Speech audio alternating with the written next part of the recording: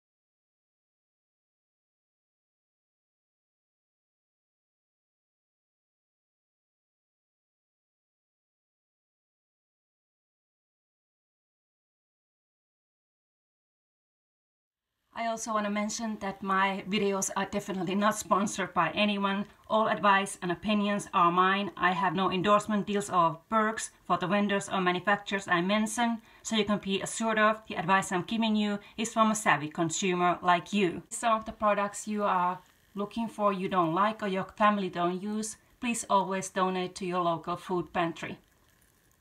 Thank you for watching my videos. Stay safe while you do your shopping Take care of your loved ones. See you in the next. Hi.